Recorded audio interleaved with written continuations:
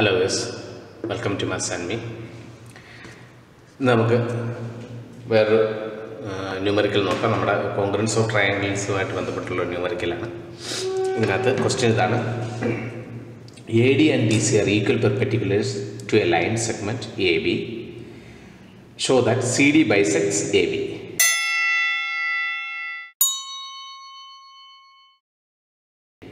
അതായത് A B എന്ന് പറയുന്ന ലൈനിൽ നിന്നുള്ള ഒരു ഈക്വൽ പെർപെൻഡിക്കുലേഴ്സാണ് ബി സിയും എ ഡിയും എന്ന് പറയുന്നത്. എ ബി എന്ന ലൈനിൽ നിന്നുള്ള പെർപെൻഡിക്കുലറാണ് ബി സിയും എ ഡിയും അത് രണ്ടും ഈക്വലാണ് ഈക്വലാണ് കൊടുത്തിട്ടുണ്ട്. ഓക്കെ പെർപെൻഡിക്കുലേഴ്സ് എന്ന് പറഞ്ഞാൽ നമുക്കറിയാം എന്താണ്?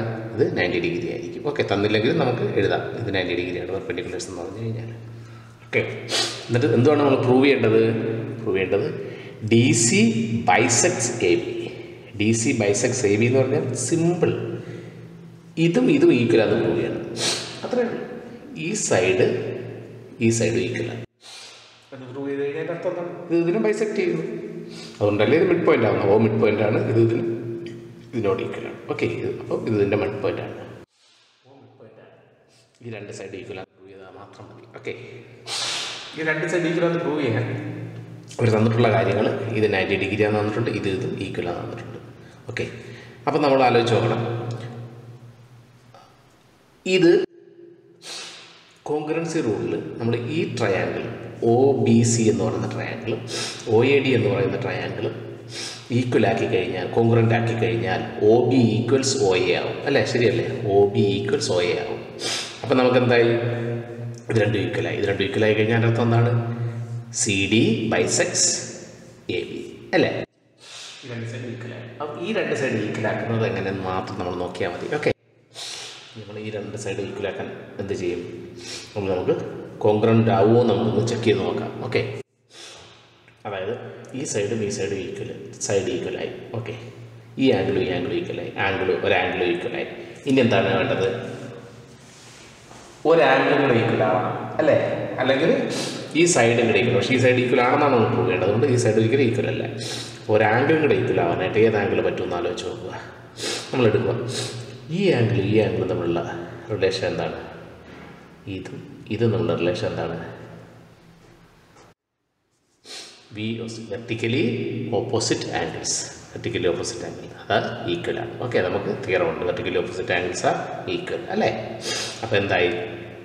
എ ആംഗിൾ എ അടുത്ത angle side A A S ഇങ്ങനെയാണ് കണ്ടുപിടിക്കുന്നത്. എ എ എസ് ഓക്കെ അപ്പോൾ കോൺഗ്രന്റായി ഈ ഒ എ ഡി എന്ന് പറയുന്ന ട്രയാങ്കിൾ ഒ ബി സി എന്ന് പറഞ്ഞ ട്രയാങ്കിൾ കോൺഗ്രന്റായി കോൺഗ്രന്റായി കഴിഞ്ഞാൽ അർത്ഥം എന്താണ് O B equals O A therefore D C bisects A okay ഞാൻ സ്റ്റെപ്പ് എങ്ങനെ എഴുതുന്നു പറയാം. ഓക്കെ ആദ്യം നമ്മൾ സ്റ്റെപ്പ് തുടങ്ങുന്നത് തന്നിട്ടുള്ള കാര്യങ്ങൾ ആദ്യം അങ്ങ് എഴുതുക. B C equals